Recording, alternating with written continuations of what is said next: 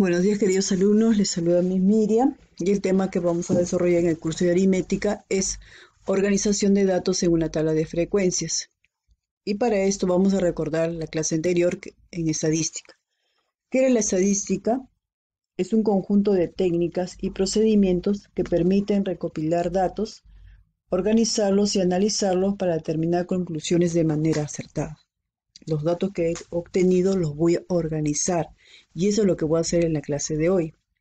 Es la organización de estos datos. Y para esto va a observar y leer el siguiente texto, que tiene como título Forma, tamaño y color. La profesora Patricia del curso de matemática muestra a sus alumnos de cuarto de primaria en la pizarra imágenes de figuras geométricas. Los alumnos reconocen rápidamente las figuras geométricas y me piden responder las siguientes preguntas.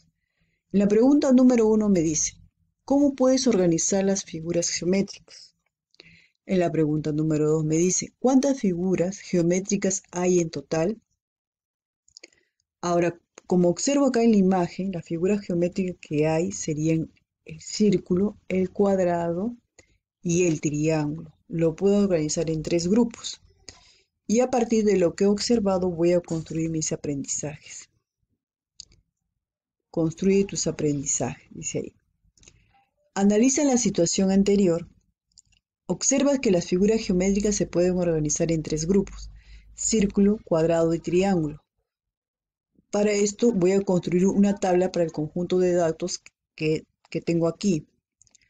Ahora, Voy a organizar tres grupos, círculo, cuadrado y triángulo, y lo voy a llevar a una tabla. Esta tabla que observo acá. Acá tengo triángulo, círculo y cuadrado. Y voy a proceder a contar cada una de las figuras.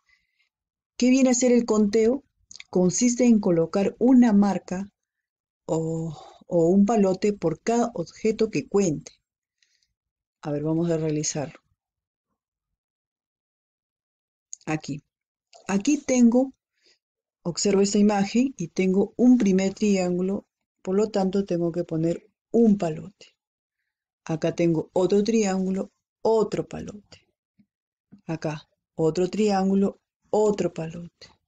Acá un triángulo, otro palote. Ahora, cuando llegue a 4, el quinto palote ya no va a ser de manera eh, vertical, sino va a ser diagonal. Diagonal porque es una forma más fácil de contarlo. Porque si te pongo tantos palitos seguidos, va a ser muy difícil de, fijarse y contar bien. En cambio, cuando lo cruzo un, un, palote, ya sé que todo esto equivale a 5. Hasta ahí había 5 y más ese triángulo sería 6. Entonces en total tendría 6 triángulos. acá. Voy a proceder a contar los círculos. A ver acá. Cuento. Sería 1, 2, 3, 4 y 5.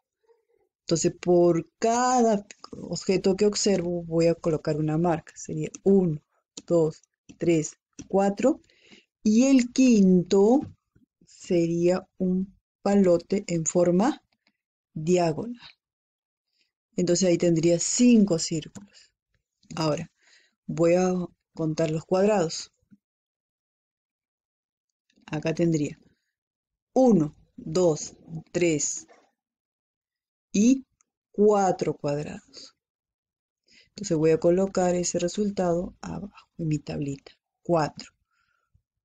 1, 2, 3, 4.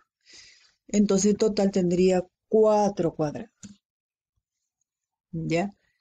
Y si sumo el, total, sumo toda la, cantidad de figuras que hay, sería 15.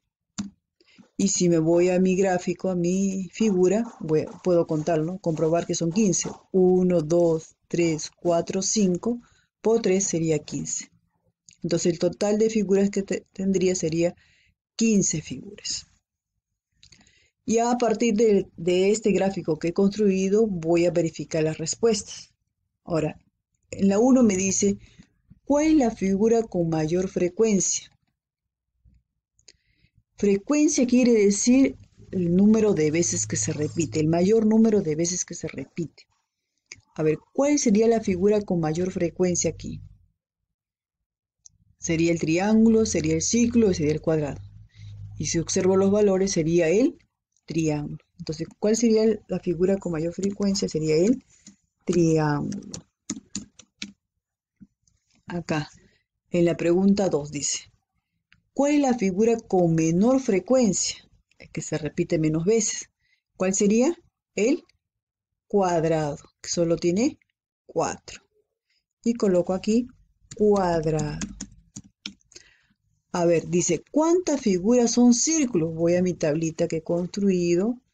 ¿Y cuántas figuras son círculos? Sería 5. 5 figuras son círculos.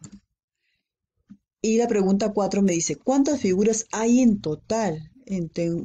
ya lo obtuve, ¿no? Consiste en sumar cada una de las figuras que he contado. Sería 15. Entonces tendría 15 figuras en total. Acá. organización de datos. Dice, cuando se obtienen los datos, estos deben estar organizados en una tabla de frecuencias que luego, luego se representará en un gráfico estadístico. ¿Y qué es una frecuencia? Como les dije anteriormente, es la cantidad de veces que se repite un dato. A eso se llama frecuencia, la cantidad de veces que se repite un dato. Y acá me dice, en el ejemplo me da, analiza la tabla de frecuencia. El gráfico muestra la preferencia de algunos platos. Y me da aquí los sabores de los platos. Tallarines, causa, escabeche y ceviche. Bueno, sería mejor poner acá platos, ¿no? Más que sabores. Platos. A ver, y acá ya me da el conteo de esos, eh, de esos este, platos. Acá tallarines eh, sería acá 5 más 5 más 1 sería 11. 11 personas respondieron que les gusta los tallarines. Ahora la causa. Acá sería 5 más 5, 10, 11, 12, 13. Su frecuencia es 13. 13 personas les gusta la causa. Acá en escabeche tengo 5 más 5 más 5, 15. 15 personas respondieron que les gusta el, escabeche. A ver, en el ceviche, 5 más 5, 10 más 5, 15, más 2, 17. 17 personas respondiendo, respondieron que les gusta el ceviche. Ahora, ¿cuál sería el total de personas encuestadas que se le preguntó qué platos les gustaba? En total sería sumar cada uno de los grupos sería 56. Y voy a responder las siguientes preguntas. Me dice en la ¿a cuánto les gusta la causa? Entonces observo aquí. Me voy aquí. Causa. ¿A cuánto les gusta la causa? A 13 personas respondieron que les gusta la causa. En la B me dice, ¿qué plato es el menos preferido? El menos preferido es aquel que fue menos votado. Entonces me voy a mi tablita y observo quien tiene menor, eh, menor valor. Sería en este caso el 11. ¿Qué, ¿Qué plato es el menos preferido? Sería los tallarines. En la C dice, ¿qué plato es el más preferido? El más votado, a quien más les gusta. ¿Qué plato más les gusta? Sería el ceviche. 17, 17 personas respondieron que les gusta el ceviche. Pero me dice, ¿qué plato es el más preferido? Ah, sería ceviche, ¿no? Ceviche. Dicen la de, ¿cuántas personas fueron encuestadas? Ah, ¿cuántas personas se les hizo la pregunta? ¿Cuántas personas fueron? 56 personas. Y coloco 56. Ahora, Vamos a resolver algunos ejercicios. Dice, ejercicios resueltos. A ver. A ver, a ver, lo ubicamos mejor para observarlo bien. Dice, en la pregunta número uno dice, Juana hizo una encuesta a un grupo de alumnos de su aula. Preguntó a cada niño o niña ¿cuántos hermanos tiene? Y obtuvo las siguientes respuestas. Estos fueron los datos obtenidos, lo que recopiló Juana al preguntarle a sus compañeros cuántos hermanos tiene. Entonces, acá los datos que tengo es 2, 1, 3, ¿qué más? 4, 0. Esos son los datos que tengo, los que tienen dos hermanos, los que tienen un hermano, los que tienen tres hermanos, cuatro hermanos y los que no tienen ningún hermano. Esos son los valores que tengo, son los datos. Entonces eso lo voy a llevar a una tabla de frecuencia. Voy a organizar esos datos. Entonces acá coloco el número de hermanos. Acá los que no tienen ni un hermano. Acá los que tienen un hermano, dos hermanos, tres hermanos, cuatro hermanos. He procedido a organizar esos datos. Lo siguiente que tengo que hacer es contar cuántos tengo de esos datos. A ver, ¿cuántos tienen cero hermanos? A ver, ningún hermano. Sería uno, dos y tres. Por lo tanto, tengo que hacer tres marcas o tres palotes. Y mi frecuencia sería 3. A ver, dice, los que tienen solo un hermano, ah, un hermano, sería 1, 2, 3, 4, 5, 6, 7 y 8. 8. Entonces voy a hacerle marca respectiva. 1, 2, 3, 4. Ya le dije que en el quinto es una diagonal. Ahí sería 5, 6, 7, 8. ¿Cuál sería su frecuencia? 8 veces se repite ese dato. Acá en la acá dice 2.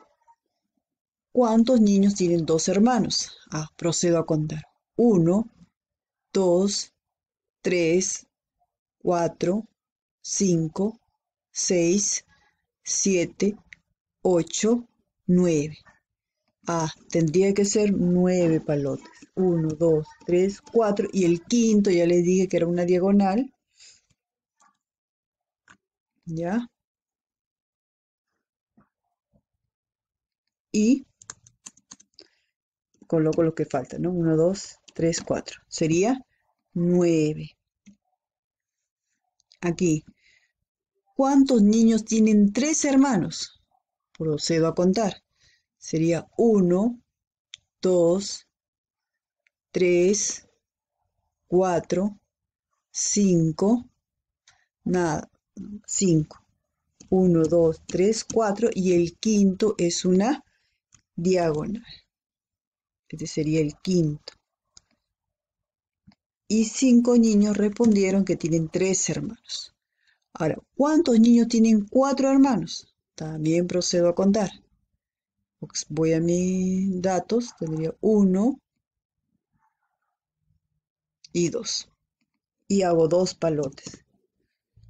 Y dos niños respondieron que tienen cuatro hermanos. En realidad lo que tendría que hacerse es una marca por cada dato que obtengo pero para hacerlo más rápido he contado en forma general y lo he colocado eh, las marcas. Ahora, ¿cuánto sería el total? Procedo a contar el número de datos. Acá sería 3 más 8, 11, más 9, 20, eh, más 5, 25 y más 2, 27. A ver, voy a comprobar si es cierto que son 27 los niños que respondieron. A ver, 1, 2, 3, 4, 5, 6, 7, 8, 9 por 3 sería 27. Entonces hice muy bien mi conteo. Una vez que hemos terminado de construir nuestra tabla de frecuencias, vamos a responder las preguntas. Dice, contesta las preguntas. A. ¿Cuál es el número de hermanos que tiene mayor frecuencia? Me voy a mi tablita de frecuencias y me voy a la columna de frecuencia y observo los valores. Aquel que tenga mayor frecuencia, a ver, acá sería el 9, ¿no? Y voy aquí. A los que tienen dos hermanos son los que poseen mayor frecuencia. Entonces acá la pregunta me dice, ¿cuál es el número de hermanos que tienen mayor frecuencia? son los que tienen dos hermanos. La B. ¿Cuántos alumnos tienen tres hermanos? Ah, me voy a mi columna de número de hermanos y me voy al número 3, dice. ¿Cuántos alumnos tienen tres hermanos? Ah, ya. Tres hermanos tienen cinco alumnos. Y coloco el número 5. En la C dice, ¿cuál es el número de hermanos que tiene menor frecuencia? ¿Cuál es el número de hermanos que tiene menor frecuencia? Y me voy a mi columna de frecuencias. ¿Cuál es el que tiene menor valor? Sería acá el 2. ¿Cuál es el número de hermanos? Me está preguntando el número de hermanos que tiene mayor, menor frecuencia sería los que tienen cuatro hermanos. Y acá podría 4. En la D dice, ¿cuántos alumnos tienen más de dos hermanos? ¿Cuántos alumnos tienen más de dos hermanos? Aquí. Acá están los que tienen ser un hermano, un hermano, dos hermanos. Pero no me están pidiendo dos, me dicen cuántos alumnos tienen más de dos. Si me están hablando más de dos, serían los que tienen tres y también tienen cuatro. Entonces, ¿cuántos alumnos son aquellos que tienen más de dos hermanos? Sería la suma de estos dos. Sería 5 más 2, 7. ¿Cuántos alumnos tienen más de dos hermanos? Sería 7. Ahora, la pregunta es, ¿cuántos alumnos tienen entre 1 y 3 hermanos? En ese intervalo está entre 1 y 3 hermanos entre 1 y 3 hermanos. ¿Cuántos alumnos son? Ah, entre 1 y 3 hermanos sería 1, 2 y 3. Sería entonces sumar 8 más 9 más 5. 8 más 9 sería 17 más 5, 22. Entonces, 22 alumnos tienen entre 1 y 3 hermanos. Ahora vamos a la pregunta número 2 me dice, la profesora Sonia pregunta a sus alumnos de cuarto cuál es su peso y estas fueron sus respuestas. Estas son las respuestas que obtuvo, ¿no? Y acá hay 32 kilos, 35 kilos, 31 kilos, 32 kilos y así, ¿no? Acá podríamos poner cuál es su peso en kilogramos, podríamos poner, ¿no? En kilogramos. Ya. Entonces, esas fueron las respuestas. Ahora tengo que ver qué datos tengo. Tengo acá el valor de 32, tengo 35, tengo 31, nuevamente tengo 32, 31, 34 y 33. Entonces los datos que tengo sería 31, 32, 33, 34 y 35. Esos son los datos. No tengo ni 30 ni 36. Estos son los datos que tengo, nada más. Entonces voy a pasar a contar, hacer el conteo de cada uno de estos datos. Aquí tengo los que pesan 31. Voy a empezar a contarlos. Sería 1, 2, 3 y 4. Cuatro niños pesan 31 kilogramos. Entonces hago mi marcas. 1, 2, 3, 4. ¿Cuál sería mi frecuencia? 4. Como les dije anteriormente, tendría que hacer una marca por cada eh, objeto que cuente, pero para hacerlo más rápido, estoy contando en general y después estoy haciendo las marcas para mi conteo. Ahora, ¿cuántos niños pesan 32 kilogramos? A ver, voy a proceder a contar.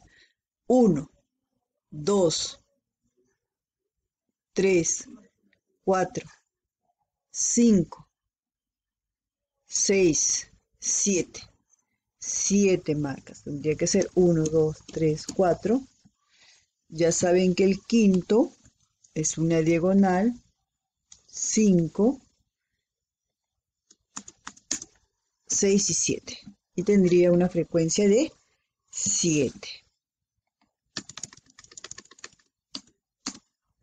aquí, 33. A ver, los que, niños que pesan 33 kilogramos. Entonces me voy aquí en mi tablita. Tendría 1, 2, 3, 4 y 5. 5 niños pesan 33 kilogramos. 1, 2, 3, 4. Y el quinto sería una diagonal, ¿no?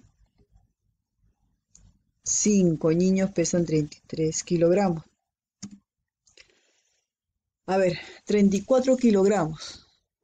A ver, contar los que pesan 34 kilogramos. Tendría 1, 2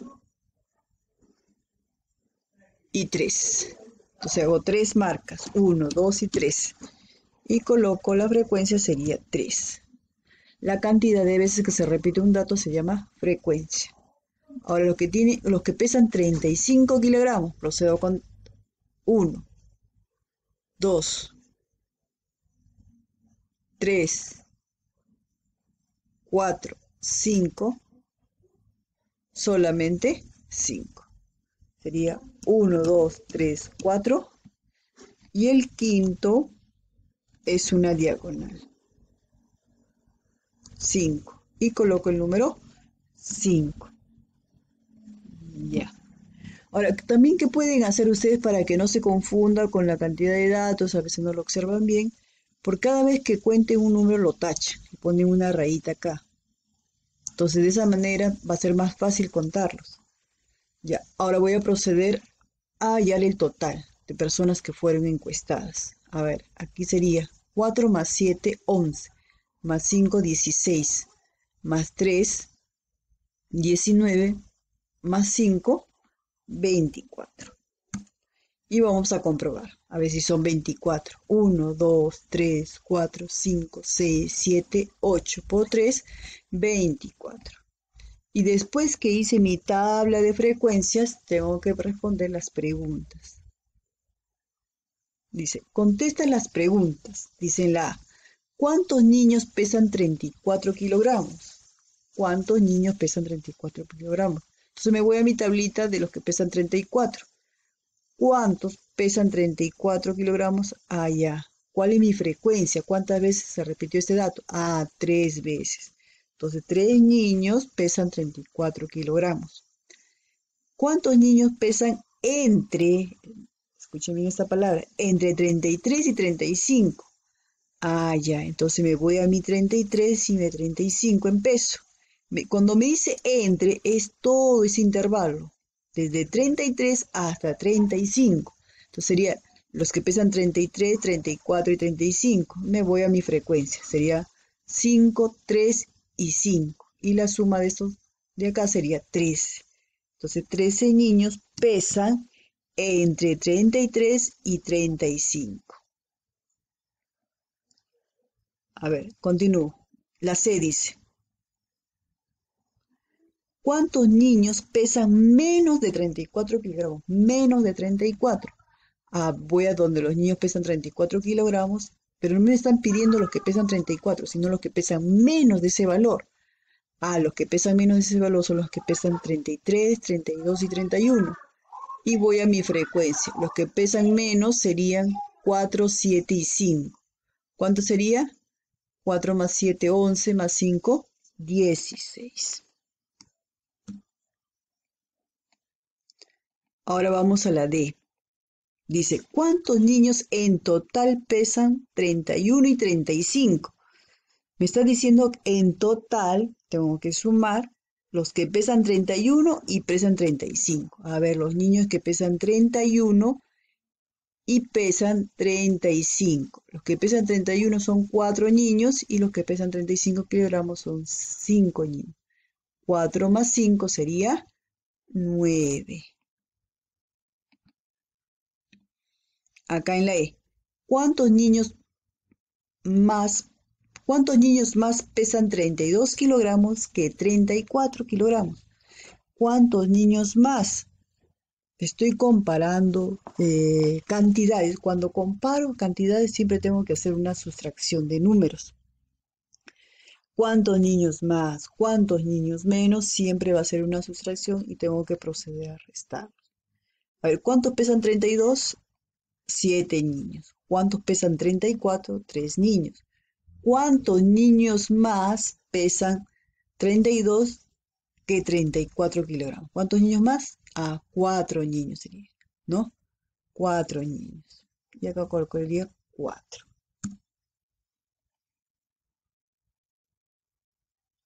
En la pregunta número 3, me dice, Sergio hace una encuesta en su aula para averiguar el tipo de película que le gusta a sus compañeros, obteniendo los siguientes resultados. A ver, estos son los resultados que obtuvo eh, Sergio cuando hizo las preguntas a sus compañeros para ver qué tipo de película les gusta. Y les gusta ver entre cómicas, acción, terror, musical. Y esos son los datos que tengo, porque de ahí se repite cómica, se repite acción, se repite terror y se repite musical. Entonces los datos que tengo sería cómica, acción, terror y musical. Y voy a proceder a contarlos. ¿Cuánto le gusta cómica? Uno. Dos. Tres. Cuatro. Cinco. Seis. Siete. Ocho. Ocho, pues niño le gusta cómica. Entonces sería 1, 2, 3, 4. Ya saben que para el quinto voy a hacer un palote en forma diagonal. 5, 6, 7, 8. Y tengo una frecuencia de 8. 8 veces se repite este mismo dato. ¿A cuánto le gusta de acción? Procedo a contar. 1, 2, 3, 4,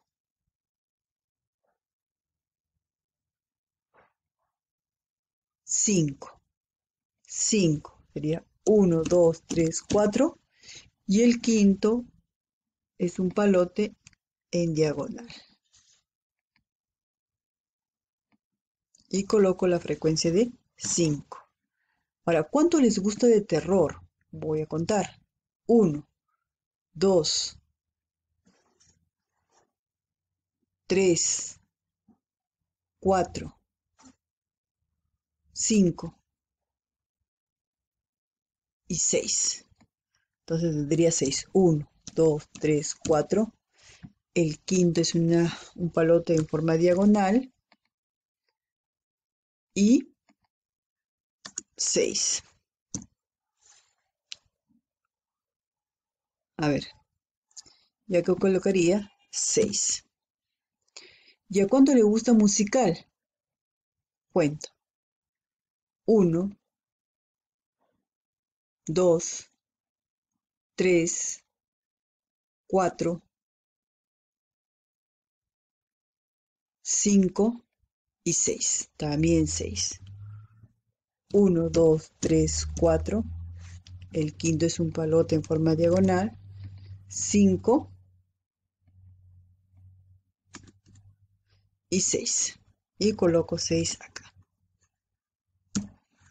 Y voy a proceder a sumar. Sería 8 más 5, 13, más 6, 19, más 6, más 6 25. Y voy a comprobar, ¿no? Que alguno no se me haya, eh, este, pasado por alto, ¿no? Sería 1, 2, 3, 4, 5, 1, 2, 3, 4, 5 y 5 por 5, 25. Entonces está bien. Conté bien. Después de revisar la tabla de frecuencia, puedo responder las preguntas. A ver, dice, contesta las preguntas. ¿Qué tipo de película prefieren más?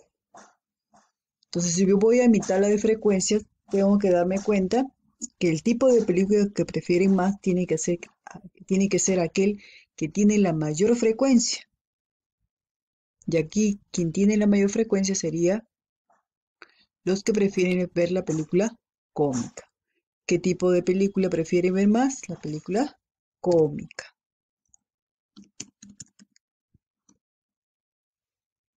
B.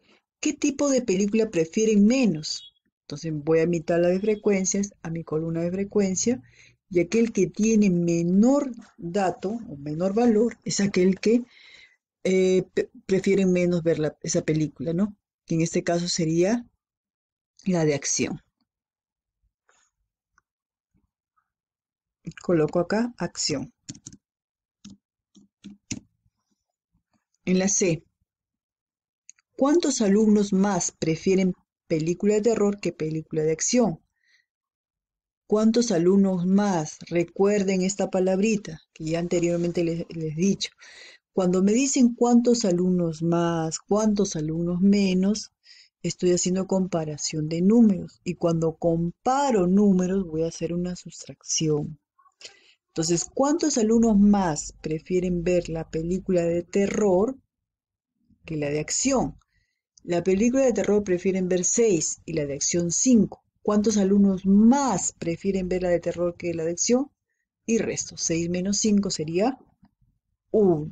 Un alumno más prefiere ver película de terror que de acción. Dice en la D, ¿cuántos alumnos más prefieren película cómica que musical? ¿Cuántos alumnos más prefieren película cómica que musical? Cómica, 8 niños. Musical, 6. Entonces yo cuando comparo esas dos cantidades, cuando me preguntan más o menos, ¿ya?